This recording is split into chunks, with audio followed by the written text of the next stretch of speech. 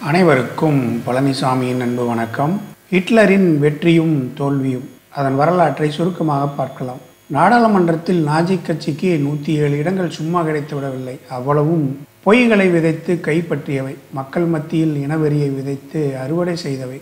இதில் கோயபல்ஸுக்கு முக்கிய பங்குண்டு. அவருக்கான முக்கிய பங்கு ஹிட்லரின் பேச்சுக்களை தயாரித்து கொடுத்தவர். அவர்தான். பிரச்சார கூட்டங்களை ஏற்பாடு செய்தவர். அவர்தான். இறைத்தூதர் போன்ற இமேஜை உருவாக்கியவர் அவர்தான். யூதர்களை தாக்குவதும் கம்யூனிஸ்டுகளை கலவரத்திற்கு தூண்டுவதும் நாட்டின் பொருளாதார நிலை குறித்து மக்கள் மத்தியில் பீதியை கிளப்புவதும் அவரது அன்றாட வேலையாக இருந்தது. அதில் அவர் வெற்றியும் பெற்றார். நாடாளுமன்ற தேர்தல் முடிந்து இரண்டே ஆண்டுகளில் மீண்டும் ஒரு பொது தேர்தலை நடத்துவதற்கு காரணமாக இருந்தவரே அவர்தான். ஜெர்மனியின் தேசிய வங்கி திவாலாகப் போகிறது என்று தினந்தோறும் எழுதியும் பேசியுமே நன்றாக இயங்கிய அந்த வங்கியை திவாலாக்கியவர் அமெரிக்காவின் பங்குச்சந்தை வீழ்ச்சியை ஆதாரமாக வைத்து அவர் புனைந்து வெளியிட்ட கதைகள் வீதியூட்டக்கூடிய வகையில் இருந்தன.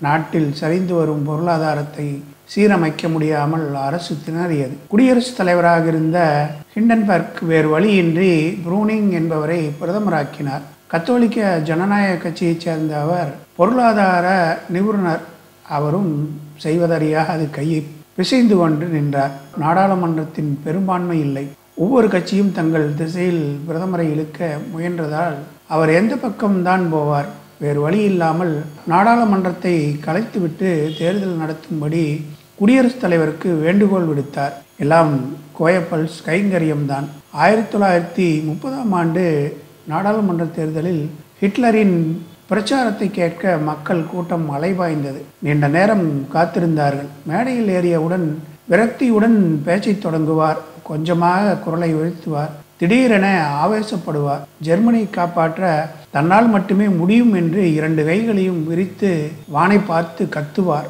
கூட்டம் பரவசமடையும். கரகோஷம் செவிப்பறையை கிழிக்கும். சமூகத்தின் அனைத்து தரப்பினருக்கும் வாக்குறுதிகள் வைத்திருப்பார். மாணவர்கள் இளைஞர்கள் தொழிலாளர்கள் நடுத்தர மக்கள் வியாபாரிகள் தொழிலதிபர்கள் பெண்கள் விவசாயிகள் என்று பாரபட்சம் இல்லாமல் அனைவருடைய வாழ்க்கையையும் வளப்படுத்த தன்னிடம் திட்டங்கள் இருப்பதாக பட்டியலிடுவார் ஜெர்மனியை என் கையில் ஒப்படைத்தால் பாலாரும் தேனாரும் தெருக்களில் பெருக்கெடுத்து ஓடும் என்று அடித்து கூறுவார். அந்த வாக்குறுதிகள் ஓரளவு பலன் கொடுத்தன.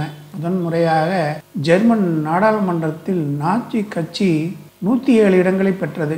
ஹிட்லர் பெருமிதமடைந்தார். தனது எண்ணம் ஈடேறப் போகிறது என்று நம்பத் தொடங்கினார். பத்திரிகைகள் தேடி வந்து பேட்டி கண்டன. மக்கள் அவருடன் கைகுலுக்க காத்திருந்தனர். எங்கே திரும்பினாலும் புகழ் வெளிச்சம் அவர் மீதே படர்ந்தது. அக்டோபர் மாதம் நாடாளுமன்றத்திற்கு நாஜிகள் வந்தனர். பிரவுன் கலர் சீருடையில் அவர்கள் வந்து ஹிட்லர் வாழ்க என்று ஆஜர்படுத்தி கொண்டனர்.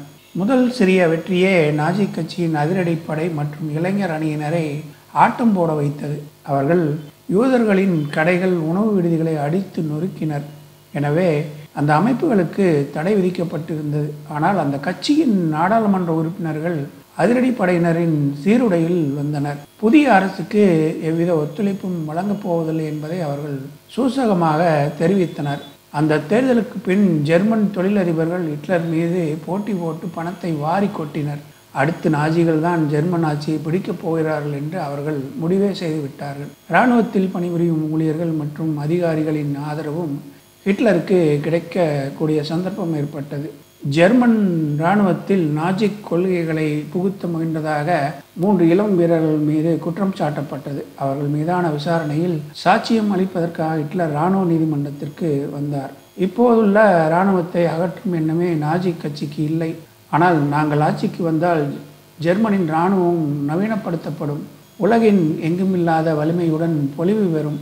வெர்சைல்ஸ் உடன்படிக்கையில் விதிக்கப்பட்டுள்ள கட்டுப்பாடுகள் மறுபரிசீலனை செய்யப்படும் என்று உறுதியளித்தார். ஹிட்லரின் வாக்கு மூலம் அதிகாரிகளுக்கு நிம்மதி அளித்தது. இதைத்தான் அவர்கள் எதிர் எதிர்பார்த்திருந்தார்கள். அப்போது ஹிட்லருக்கு முப்பத்தொன்பது வயதுதான் ஆகியிருந்தது. தனது போராட்டத்திற்கு பலன் கிடைக்கும் என்ற நம்பிக்கை மனதில் நிறைந்தவுடன் இன்னும் இளைஞனாக மாறிவிட்டார். அதிலும் ஜெலியை பார்க்கும் போதெல்லாம் அவர் டீனேஜ் பையன் மாதிரி ஆகிவிடுகிறார். அவளுடன் ஊர் சுற்றுவதை விரும்பினார். அவளும் சக்தி வாய்ந்த மனிதராக போற்றப்படும் ஹிட்லரின் விருப்பத்துக்கு உரியவளாக இருப்பதை பெருமையாக நினைத்தார். இருவரும் போகும்போது ஹிட்லரிடம் கோரிக்கை மனுக்களை கொடுப்பார்கள். ஆட்டோகிராஃப் புக்கில் கையெழுத்து கேட்பார்கள். எப்போதும் அவரது ஏவலுக்கு காத்திருக்கும் தொண்டர்கள் பணிவான சேவகம் என்று எல்லாமே ஜெலியை கவர்ந்திருந்தன.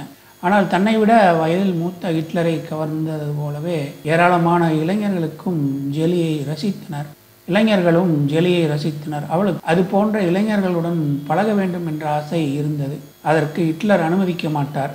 அவளுக்கு பாதுகாப்பாக நியமிக்கப்பட்ட எமில் மௌரிஸ் என்ற இளைஞனுடன் சில நாட்கள் தொடர்பு வைத்திருந்தார். ஒரு நாள் அவன் சுடப்பட்டு மருத்துவமனையில் அனுமதிக்கப்பட்டிருந்தான் யார் அவனை சுட்டது என்பதே அவளுக்கு தெரியவில்லை. ஜெலியை யாரும் பார்க்கக்கூடாது என்று பொறாமைப்படும் அளவுக்கு சென்ற ஹிட்லர் தான் மட்டும் தனது அந்தரங்க புகைப்படக்காரராக பணிபுரிந்த எயின்ரிச் ஹாப்மேனின் உதவியாளரான பதினேழு வயது ஈவா ப்ரவுன் என்ற பெண் மீது மையல் கொண்டிருந்தார். ஆயிரத்தி தொள்ளாயிரத்தி முப்பத்தி ஓராம் ஆண்டு செப் செப்டம்பர் மாதம் பதினாறாம் தேதி ஈவா ப்ரௌனை தியேட்டருக்கு அழைத்துச் சென்றார். அத்தனை பார்வையாளர்கள் மத்தியில் தனது நெருக்கமான கட்சித் தலைவர்களின் குடும்பத்தினர் அருகில் இருக்க ஈவா பிரவுனுடன் அவர் சினிமா பார்த்தார். இது போன்ற அடுத்த சந்திப்புக்காக நான் காத்திருக்கிறேன் என்று அவள் ஹிட்லருக்கு குறிப்பு அனுப்பியிருந்தாள். ஹிட்லரின் இந்த திசை மாற்றம் ஜெலிக்கு வெறிப்பூட்டியது அவரும் தொடுவதில்லை பிறருடனும் பழக விடுவதில்லை. தன்னை அடிமை போல நடத்துகிறார் என்று கருதினார். ஈவா பிரவுன் எழுதிய கடிதம் ஜெலியின் கைக்கு கிடைத்தது. கடுமையான ஆத்திரமடைந்தால் தனது அடிமைத்தனத்துக்கு முடிவு கட்ட வேண்டும் என்று தீர்மானித்து கொண்டாள் அடுத்த நாள் இருவருக்கும் கடுமையான வாக்குவாதம் எழுந்தது. எனக்கு இங்கிருக்க பிடிக்கவில்லை நான் முயன்னாவுக்கே போய்விடுகிறேன் எனக்கு அனுமதி கொடுங்கள் என்றாள் நான் உனது பாதுகாவலன். உனக்கு எது நல்லது என்பது எனக்கு தெரியும். நீ வேணாவுக்கு போகக்கூடாது என்றார் ஹிட்லர். அப்படியானால் அடுத்த பெண்களுடன் தொடர்பு வைத்திருக்கும் நீங்கள் எனக்கு ஏதேனும் ஒரு முடிவை சொல்லுங்கள் என்றால் அதுதான் சொல்லிவிட்டேனே நீ வியன்னாவுக்கு போகக்கூடாது என்று என்றார் ஹிட்லர். ஹிட்லர் வேகமாக கிளம்பி கீழே வந்து காரில் ஏறினார். மாடியின் ஜன்னல் வழியே ஜெலி எட்டி பார்த்தாள். முடிவாய் என்ன சொல்கிறீர்கள்? என்றாள் ஜெலி. போகக்கூடாது அவ்வளவுதான் என்று ஹிட்லர் காரில் போய்விட்டார். மியூனிக் நகரிலிருந்து புறப்பட்ட ஹிட்லர் அடுத்த நாள் காலை ஹாம்பர்க் நகரை நோக்கி சென்று கொண்டிருந்தார். இடையில் ஒரு டாக்ஸி அவரது காரை வழிமறித்தது. ஹிட்லரின் நண்பர் ருடால்ஃப் எஸ் தொலைபேசியில் இருப்பதாக தகவல் சொல்லப்பட்டது. அருகில் இருந்த ஓட்டல் ஒன்றுக்கு விரைந்த ஹிட்லர் தொலைபேசியை எடுத்தார். ஜெலி தன்னைத்தானே துப்பாக்கியால் சுட்டு தற்கொலை செய்து கொண்டாள். ரொடால்ஃப் வெல்ஸ் தெரிவித்த தகவல் ஹிட்லரை அதிர்ச்சியடைச் செய்தது. அவருடைய காதல் தோற்றுவிட்டது. முதன் முதலாய் தான் நேசித்த பெண் செத்துவிட்டாள் என்ற செய்தி அவரை பெரிய அளவில் பாதித்தது. அதன் பிறகு முன்பு போல இல்லை என்று ஹெர்மன் கோயரிங் கூறுவார். அது நிஜம்தான். ஹிட்லர் ஜெலியை மறக்கவே இல்லை. அவளது பிறந்த நாள் மற்றும் இறந்த நாளில் அவளுடைய புகைப்படத்திற்கு மலர் அலங்காரம் செய்து சோகமாக இருப்பதை வழக்கமாக வைத்திருந்தார். ஆனால் ஜெலி இருந்தபோது அவளை ஹிட்லர் தான் சுற்று கொன்று விட்டதாக சில செய்தித்தாள்கள் வதந்தியை பரப்பின.